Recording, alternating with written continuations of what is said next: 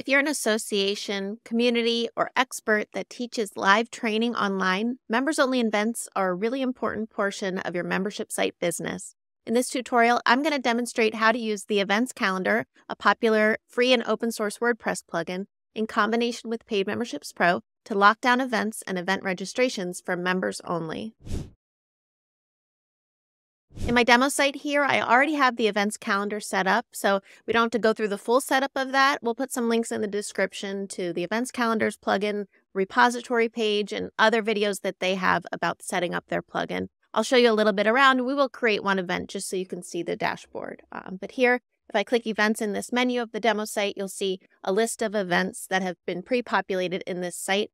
Um, events are a custom post type, just like pages and posts in your WordPress site. They're going to be in their own list and table in the admin of WordPress. So if we go through, scanning through, this is a single event page. Again, just default paid memberships pro WordPress Memberlite theme. They look really beautiful here. Uh, it has the title, the event date, time, a picture, and information here. I kind of recommend for membership sites people are already logged in. So you could do ticketing and registration and force that, or you could use your events kind of as informational portals with date, time details, and a link to Zoom. Just embed the content of the live stream right there on the event page. Lots of creative ways to do this. Post a comment on the video if you're wondering how to best connect uh, membership registrations and member ticketing to this. But most sites, I think, just use it as a listing of events to participate in and include details in the members only section of the events, which we're going to demo shortly. So I'm going to go into the admin of the site and I'm going to install the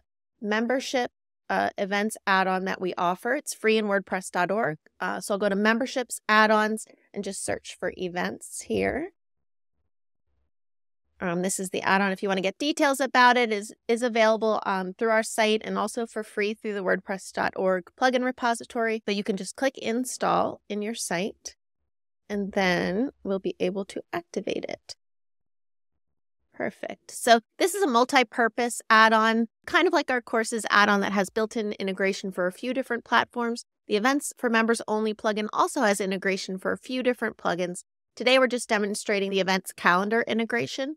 But the documentation page, which we link to in the, in the description, will have uh, other modules that it works with if you're using a different events plugin in your site. Now that this is activated, we can go to the events area of our site. That's that custom post type and create a new event. Uh, just like posts and pages, it has a title, events demo, it has content, you know, join us. Like demo. Um, you can add all this event detail. It's meta information that helps it get placed on the calendar view, um, helps people see like a map view of where the event's located and all kinds of details here. Um, but the main thing we want to show is the membership functionality. So you might recognize this require membership box. It's the same one you'll see when you're editing posts in WordPress or pages in your WordPress membership site. So I'm going to create this event and say it's for all level members and just click publish. That's also available on existing events. So let's edit one of our other events we had pre-populated in this site, tricks and training uh, techniques for your dog. We're always on this dog theme uh, and select what membership levels can access this one. So now if we go to the event, you can see that we still see full event details here in the site, um, no limitations. We are logged in as a member already, so we don't have to worry about that. But let's log out and then we'll just see what the experience would be for uh, someone else on this site. So if you're a visitor to the site and you happen to get to the events archive here, you could still browse all of the events. And then on a single event page, you would see an excerpt of content about the event and a, our same content message to log in or join um, to access the event details. So let's join and then we'll go through checkout and just show you how this all looks for someone who has um, an active membership site.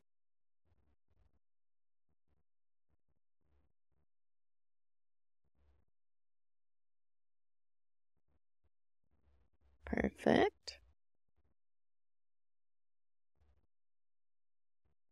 And submit. We're just using a testing gateway here, so we're not going to have to enter payment information. Your site will be a little bit different. So let's go back to that event. Let me try this one.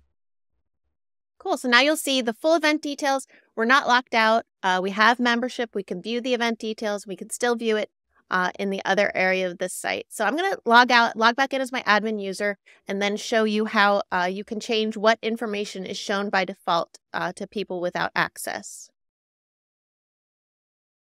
I'm going to start by canceling my membership level just so that we can see uh, the, the changes that we make and how that looks in the site. So I'm going to be an admin user logged in, but I'm not going to have a membership level. So let's go to our memberships settings advanced. So just like your posts and pages, the events in your site are going to inherit the settings for how you want searches and, fil- and archives to be filtered and how you want excerpts to be shown to non-members. So for this site, I think that it's um, not filtered and excerpts are shown. Let's toggle this uh, to hide excerpts and go back and look at what that does to our event on our site we update that, I'm going to go back to events and locate that training course we edited this. Okay, so this one should be protected for me now, um, and I can't see. So now you see that excerpt is gone. Um, because we're hiding excerpts from non-members, we won't even see that content. Um, this is the, let's go back to all events. I want to show you how you can filter archives also. So I think that was 2030. We have a like a recurring event thing on this. Um, so yeah, this 2031. So let's also demonstrate what happens when we adjust advanced settings to filter searches and archives. We go to advanced, filter searches and archives. Yes, only members will see restricted posts and pages and events in searches and archives. Click save settings. Um, so now all of those protected events are hidden. So we can't see anything. We can't see all the upcoming events that are protected for members only. So it depends how you want to set things up. Some people like to use a robust events calendar visible to non-members as a way to show them all of the value that exists behind the paywall. Some people are so private and locked down that they don't want members only events visible on the front end of the site in that way. So that's your choice. It's under advanced settings. There are some advanced filters if you wanted events to only be filtered, but not posts and pages.